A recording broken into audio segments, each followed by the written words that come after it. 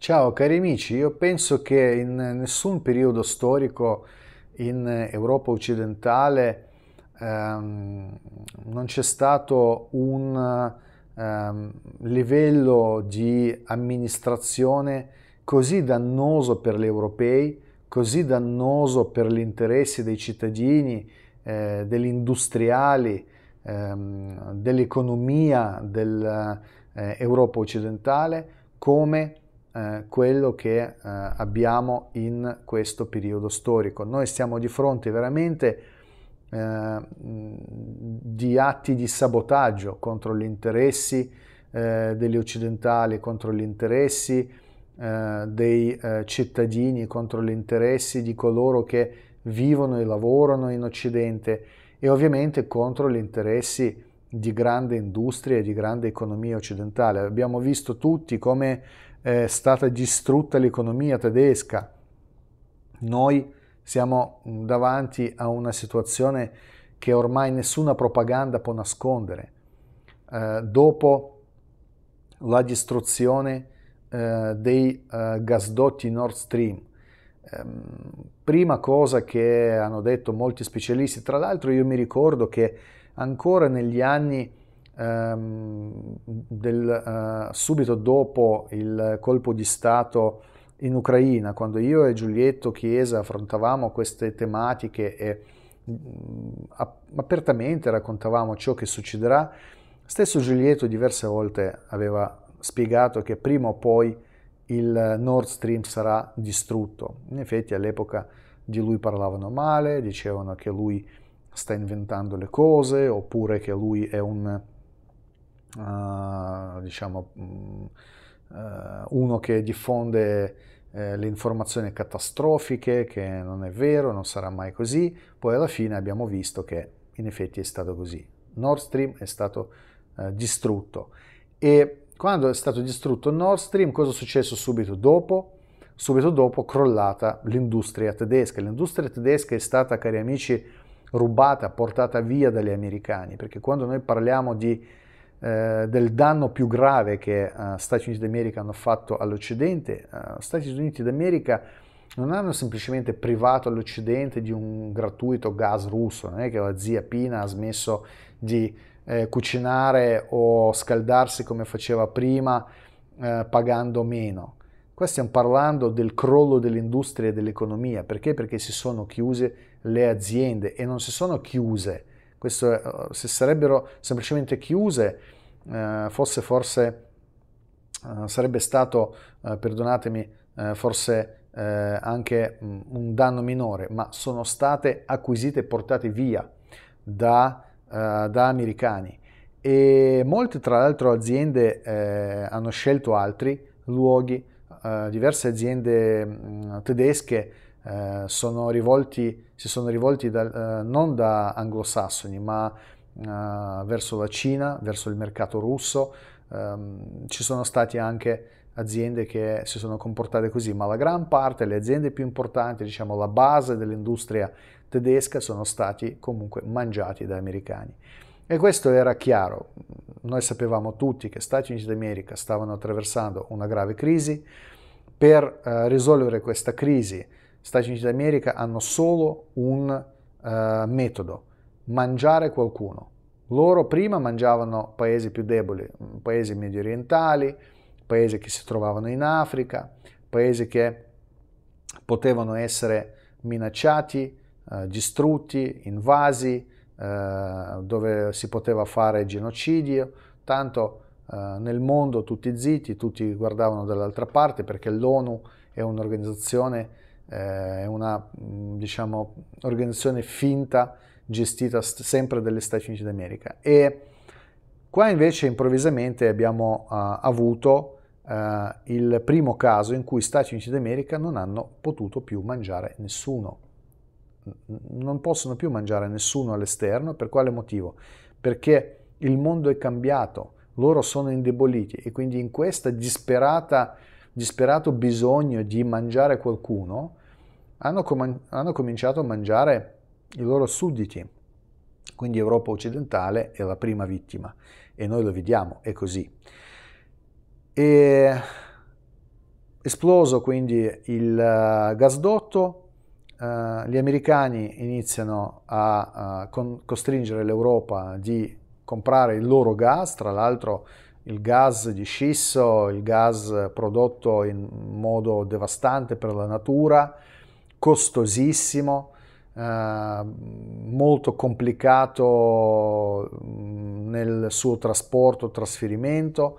Eh, L'Europa deve costruire porti speciali, insomma c'è stato creato un enorme varco di eh, spesa che ovviamente non ehm, non corrisponde agli interessi dei cittadini europei perché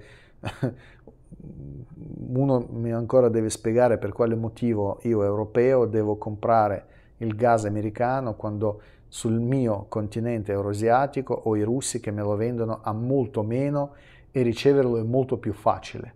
Comunque hanno fatto questa storia russofoba, uh, tutto quello che arriva dai russi è un male e poi ovviamente sanzioni. Le sanzioni economiche, cari amici, è una vera e propria arma contro l'Occidente.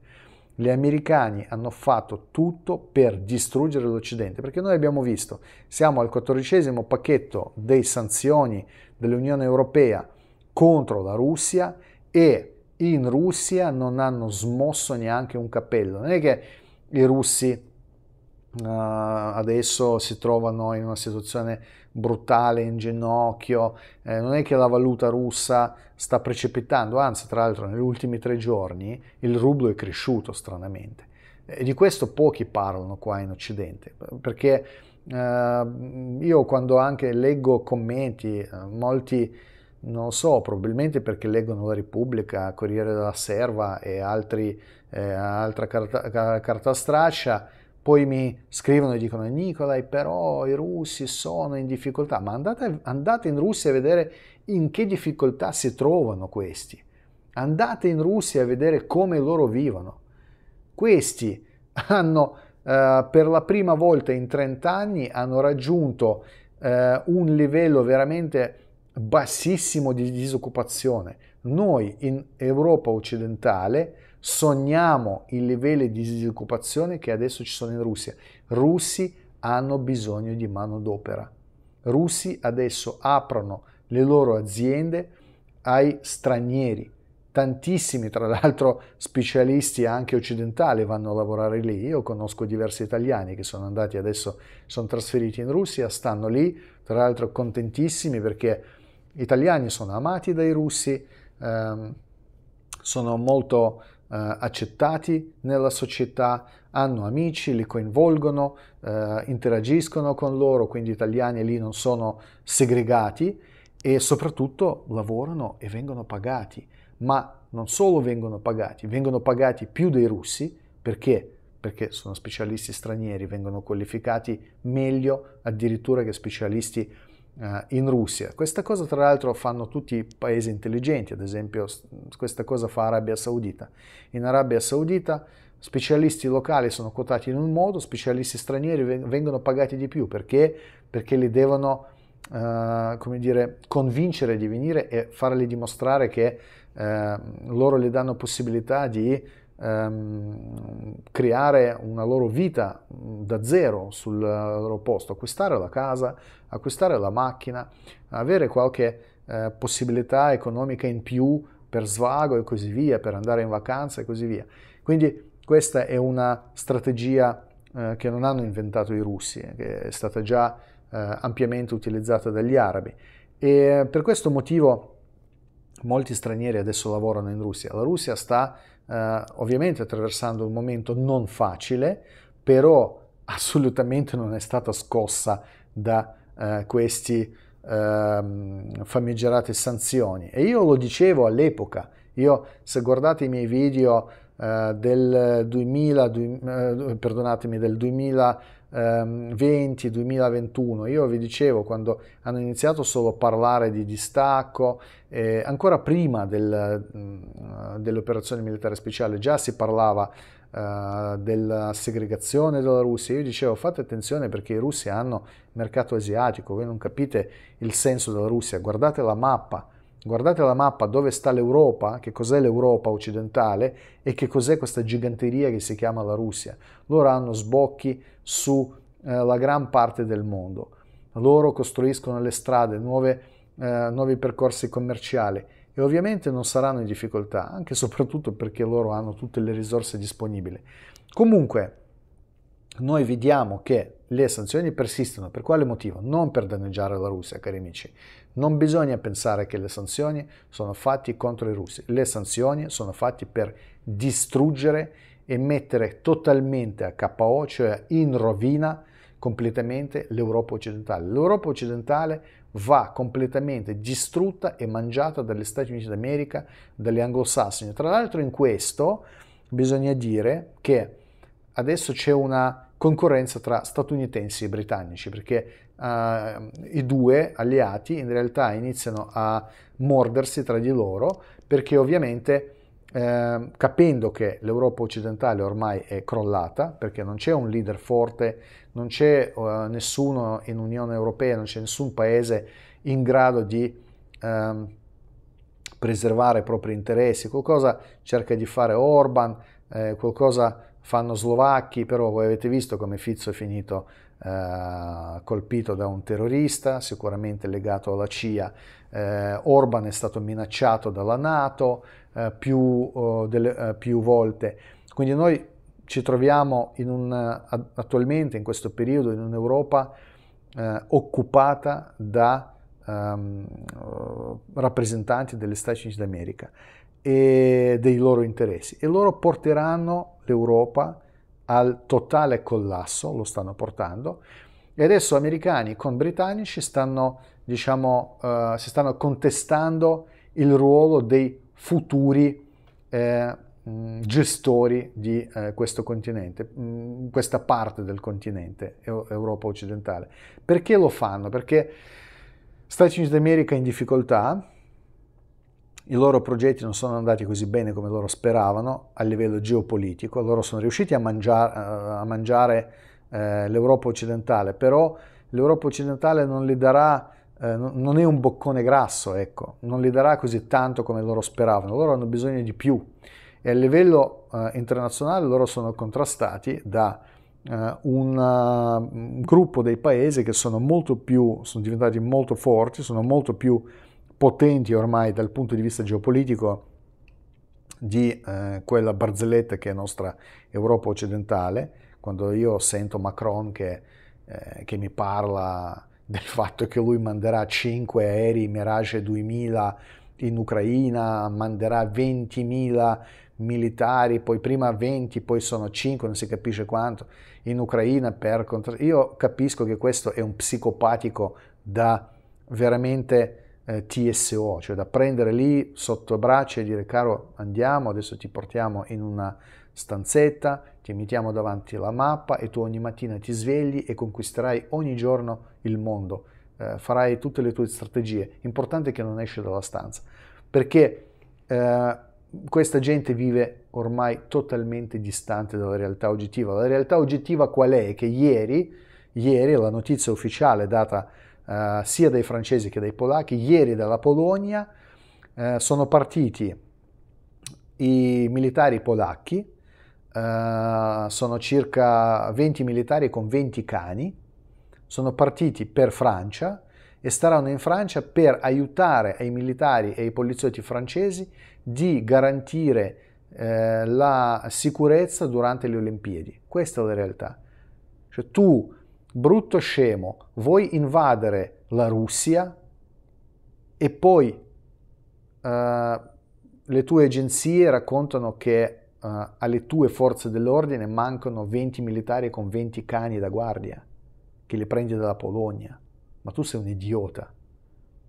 Tu veramente sei da, uh, un psicopatico da portare in un ospedale, chiudere e buttare via la chiave. Questa è la realtà del, de, dell'Europa occidentale. Stanno blaterando delle cose, stanno uh, parlando di guerra che non saranno in grado di mantenere, sicuramente perderanno, ma rischiano anche di uh, portare la situazione a livello di eh, apocalisse nucleare, perché ricordiamo, il problema dei paesi europei è che loro sono stati gonfiati con le armi nucleari statunitensi. E se, succe- se dovesse succedere qualche provocazione, e gli americani e gli anglosassoni in questo sono grandi esperti, ricordatevi che ad esempio l'Italia sarà prima ad essere bruciata, polverizzata. Eh, e dal punto di vista di utilizzo delle armi nucleari, cari amici, la Russia oggi è il paese che detiene più armi nucleari di tutti e ha più sistemi aggiornati e moderni di portata di queste armi nucleari. Quindi eh, altro giorno, guardate, la, la notizia che hanno dato stessi americani, io ho pubblicato sul mio canale privato Telegram, lo so che in Italia non si parla di queste cose perché noi abbiamo giornalisti che non sono giornalisti, sono delle mignotte, perdonatemi.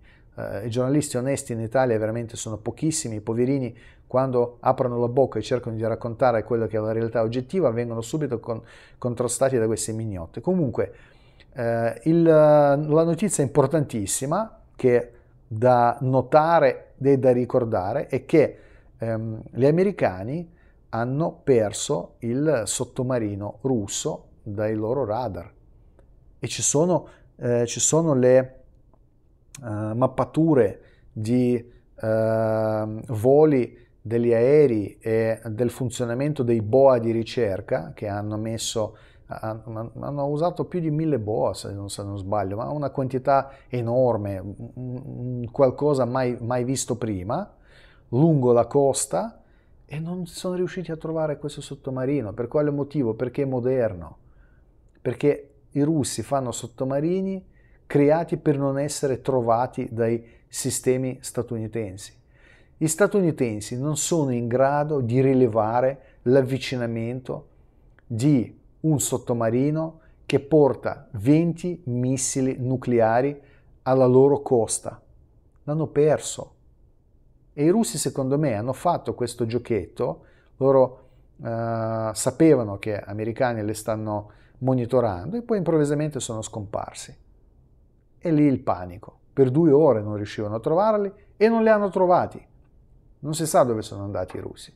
Sono rimasti là, se mangiano adesso i brioche uh, sul fondo dell'oceano, uh, ridendo come gli americani li stanno cercando, oppure sono già a Severodvinsk, nella loro base nucleare, non lo so, non, si, non sa nessuno.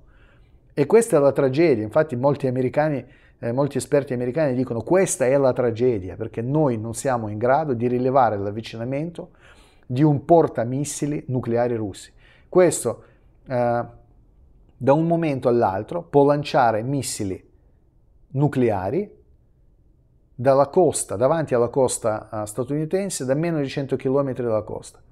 Questo significa tempo di arrivo uh, circa, circa 3 secondi. Voi sapete cosa significa con, con missili, soprattutto missili ipersonici? Non riusciranno mai ad abbatterli. Quindi gli americani sono in difficoltà e ovviamente eh, loro, pur di evitare di eh, trascinare se stessi in questa situazione. Loro piuttosto butteranno contro i russi eh, il più debole che è Europa occidentale e quindi i russi dovranno per forza colpire l'Europa occidentale. Questo è il rischio. Comunque eh, sulla, eh, sulle sanzioni una cosa divertente che non so se vi, vi potrà vi farà ridere o piangere, dipende eh, da, dalla situazione. Io ormai vivo questa situazione come un qualcosa di tragicomico. Ormai ho smesso di preoccupare, prima ero molto preoccupato, ma ormai sono diventato, non lo so, un fatalista, cinico, non riesco a capire più perché leggo queste notizie e non riesco a capire come mai gli altri non si preoccupano e quindi anche io divento un po' così. Comunque, ehm, quattordicesimo pacchetto di sanzione eh, europea contro la Russia, adesso per la prima volta eh, hanno inserito anche le forniture del gas russo. Voi sapete che eh, GNL, il um, gas liquido russo, continua a essere portato in Unione Europea.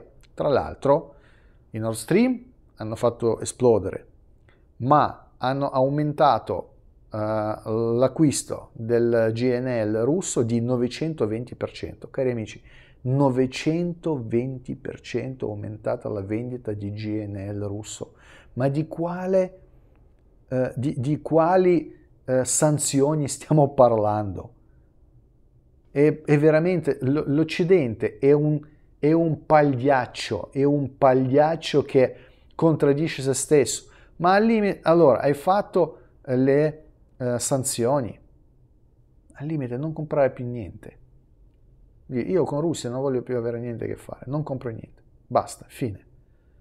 Niente, fanno sanzioni e poi dopo continuano a comprare, aumentano uh, uh, l'acquisto del gas liquido. Comunque adesso, sotto la pressione degli americani, gli europei hanno detto che uh, loro ovviamente smettono di comprare gas, però, notizia che vi farà ridere, e Germania e Ungheria hanno, blocca- hanno bloccato eh, questo, eh, l'accordo sulle sanzioni. Quindi il sanzio- quattordicesimo pacchetto di sanzioni eh, dovrebbe partire, ma non può partire perché tedeschi e ungheresi lo bloccano perché loro vogliono continuare a comprare il gas russo. Capite in che situazione noi ci troviamo? E poi c'è qualcuno che anche ha coraggio di dire che Europa, Unione Europea, siamo tutti insieme, noi qua facciamo, noi perché eh, insomma siamo contro i russi, unica eh, situazione, Stoltenberg ogni tanto spara qualche cavolata, eh, ovviamente avvicinando a, di, sempre di un passo l'apocalisse nucleare senza anche comprendere che cosa stesse facendo. Questo qua secondo me eh, è proprio il livello di imbecillità è tra Macron e Zelensky proprio. E e alla fine, cari amici, abbiamo rappresentanti che ci fanno del male. Questa è la realtà, questo è ciò che fa parte della nostra vita. Ovviamente molto triste che comunque i cittadini europei continuano a scegliere questi rappresentanti. A quanto pare eh, la gran parte dei cittadini europei non ha una memoria storica, non ha una memoria in generale, eh, ragiona probabilmente non con la testa ma con altre parti del corpo e mm, utilizza secondo me più che ragionamenti, utilizza emozioni, questa è la cosa più, eh, più brutta perché come sapete eh, quando entra in gioco l'emotività tutto il resto scompare. Amici, vi ringrazio per la vostra attenzione. Io, come sempre, vi invito di approfondire le notizie sul mio canale privato Telegram. Il link per abbonamento al mio canale troverete nella descrizione a questo video. Ogni giorno io pubblico circa 100 aggiornamenti tra materiali video, foto, eh, reportage dalla prima linea delle retrovie di guerra in Ucraina, eh, tantissime interviste, tantissime opinioni, analisi di vari esperti provenienti da tutto il mondo tutto questo che serve ai miei abbonati di creare una loro visione obiettiva su ciò che succede nel mondo per non essere sotto uh, il dominio della propaganda filo-atlantista. Quindi vi, uni- vi, invito anche a voi di unirvi al mio canale. Eh, se volete sostenermi qua su YouTube, come sempre vi invito di iscrivervi al mio canale, di commentare i miei video, condividere i miei video con i vostri Amici, vi ringrazio per la vostra attenzione, vi ringrazio per le vostre donazioni, per le vostre preziosissime opinioni, per i vostri commenti, tutto questo è molto importante per me e per il mio lavoro qua su YouTube. Vi mando un forte abbraccio fraterno e vi voglio bene.